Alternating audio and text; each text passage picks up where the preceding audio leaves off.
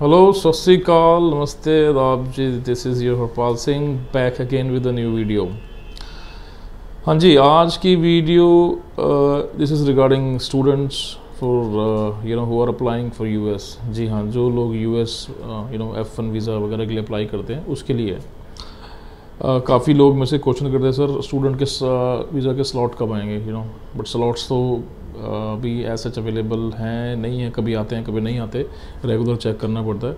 But this video is you know for them as a good news जो भी student visa category में आते हैं चाहे वो एफ़ है एम है यू you नो know, जो भी कैटेगरी आती है ठीक है?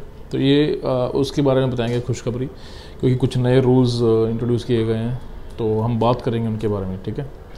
सो बिफोर स्टार्टिंग वीडियो अगर uh, आपको कोई भी डाउट हो कोई क्वेरी हो and you want any help any kind of help for submission your files and कोई भी क्वेरी हो regarding you know immigration you can always reach us on given numbers आप चाहें तो ईमेल कर सकते हैं फ़ोन कर सकते हैं ऑफ़िस में and if required you can ask for the address you can visit there चलो जी before starting if you already a subscriber that's great अगर नहीं है तो please subscribe the channel and you know share the videos चलो let's start the video हाँ जी तो बात करते हैं जी स्टूडेंट वीज़े के बारे में.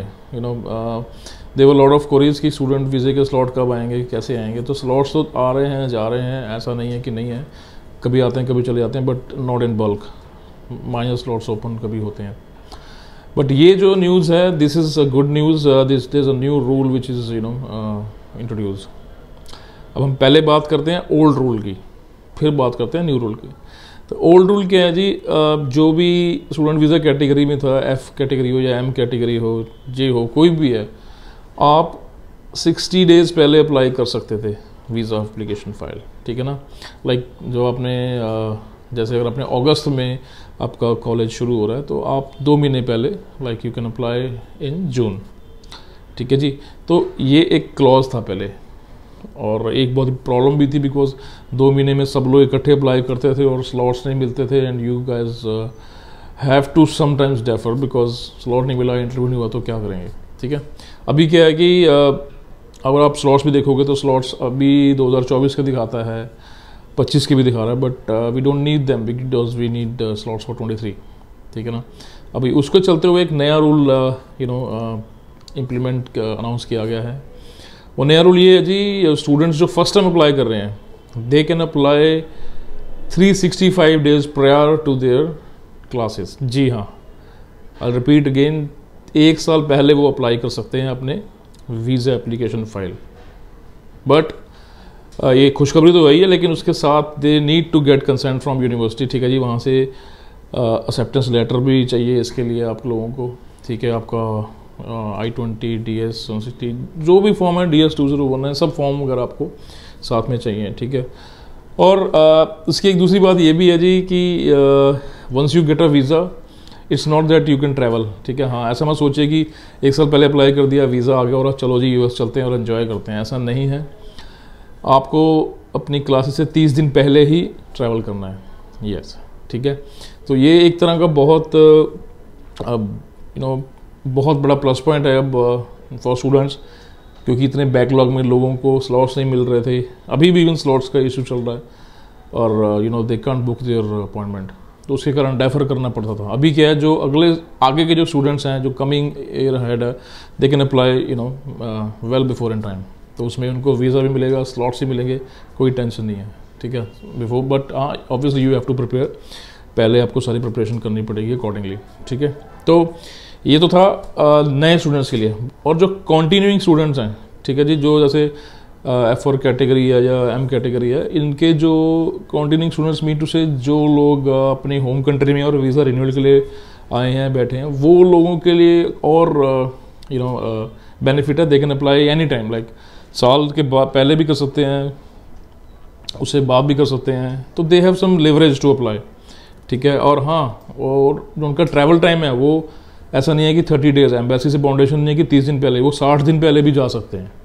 ठीक है जी? तो ये एक बहुत अच्छी खबर है फॉर स्टूडेंट्स ठीक है जी? चाहे वो फ़र्स्ट टाइम अप्लायर्स हैं, चाहे वो रिन्यूअल के लिए अप्लाई कर रहे हैं दोनों के लिए बहुत अच्छी खबर है।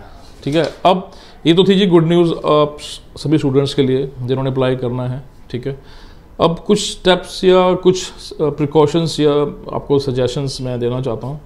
आई नो आपने यहाँ तक वीडियो देखी दैट्स गुड थोड़ा सा आगे और देख लो. You can you know have some benefit on that defer को अपॉइंट अवॉइड करने के लिए हम सॉरी डेफर जो आपका केस होता है, उसको अवॉइड करने के लिए, ठीक है जी?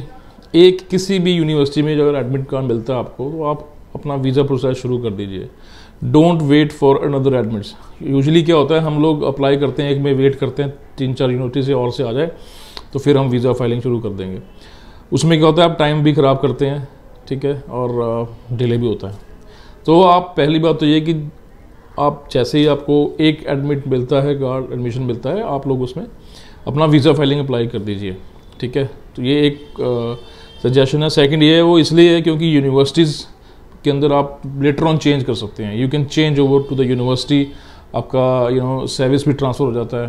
यू you नो know, आपका डी एस वन सिक्सटी भी you uh, know you know, सब सारे documentation you can you know get it change even आपकी अपॉइंटमेंट भी यू नो चेंज हो जाती है।